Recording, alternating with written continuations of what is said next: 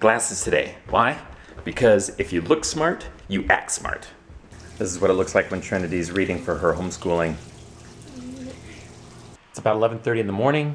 I'm working on my iMovie tutorial right now. I'm making a new version because the last one I made, I released it and then about two or three weeks later, Apple came out with a new version of iMovie. So my old tutorial doesn't apply anymore. So I need to update the whole thing. So what I do is I go through the help files, the iMovie help files, and I take a bunch of notes, then I practice using everything, and then I create a tutorial around it. So that's what I'm working on right now.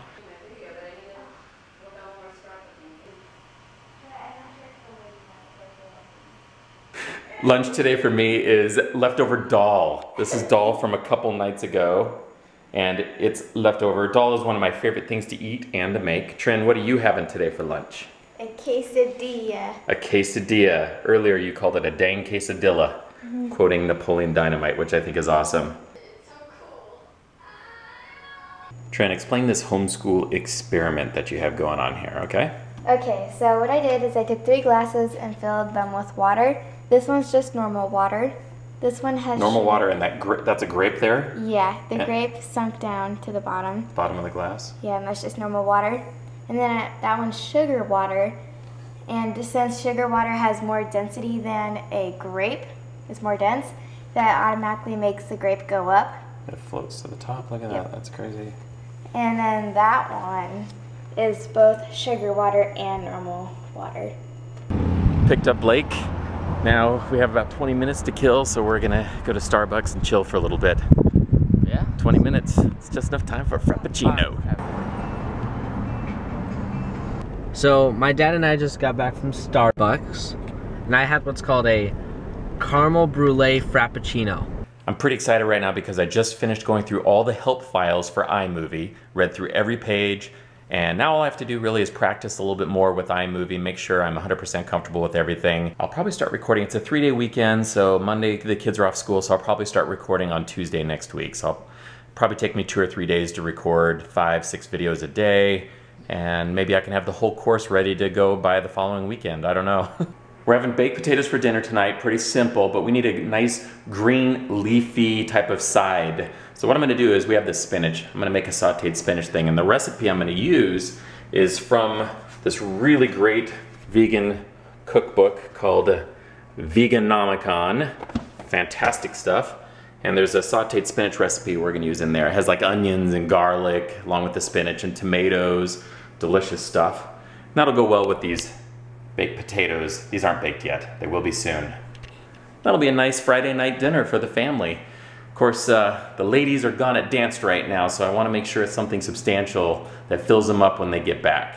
You know what I should do? I should take a ride over there and sneak some footage of them dancing without them even know I'm coming. That's what I should do. Okay, the studio where Trinity and Noel dance is called USA Youth Fitness Center. They got cheer, tumbling, and dance. Let's go see if we can get a minute with them. One of my favorite things about this studio number three is Trinity is on the wall right there. Look at that. Isn't that a great shot? okay, let's see if we can get a couple dance moves on video.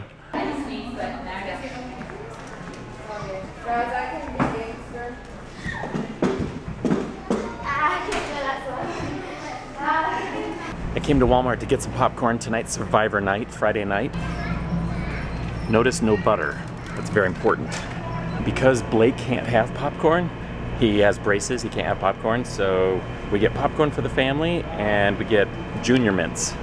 So we'll get him some junior mints. We'll just get him a little box of them.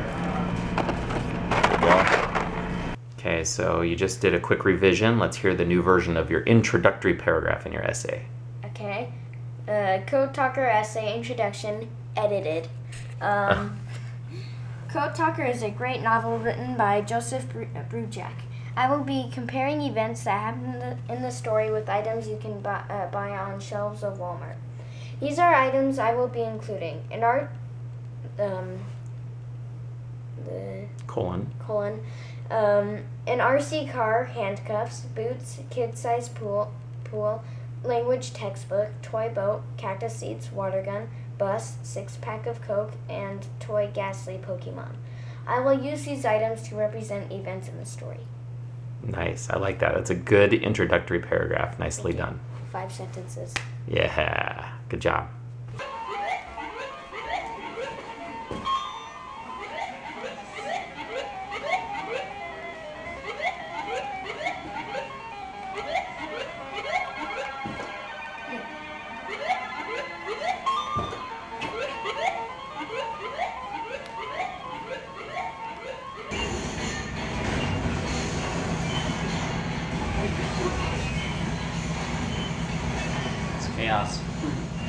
Yummy sauteed spinach. Love it. Perfect side dish. Ladies, they're home from dance.